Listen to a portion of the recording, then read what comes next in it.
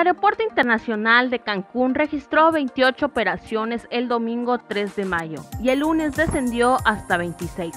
la cifra más baja de actividad desde que inició la crisis sanitaria por el COVID-19. Y aunque a diario hay un promedio de 5 operaciones internacionales procedentes de Estados Unidos, no todas se realizan, informó Eduardo Rivadeneira, vocero de la terminal.